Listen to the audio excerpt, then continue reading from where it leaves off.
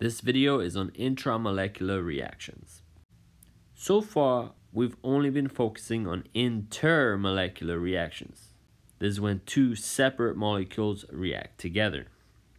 Intramolecular reactions are when single molecules react with themselves.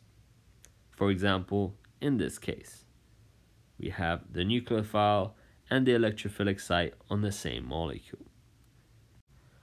This tends to form rings. Just a note that acid-base chemistry is much faster than SN1 or SN2 chemistry.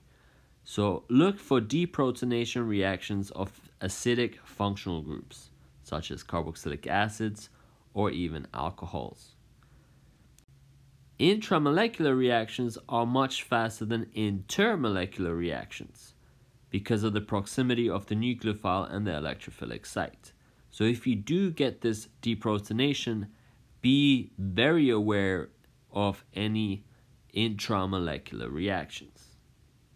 Here's an example of a halogenated carboxylic acid.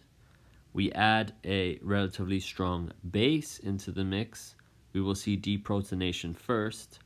Now that we have a relatively weak nucleophile and electrophilic site on the same molecule, we will see still see intramolecular reactions as opposed to this now deactivated nucleophile attacking the electrophilic site, yielding us the cyclic product of an intramolecular reaction. You have a go. What would be the product of this reaction? You may pause now.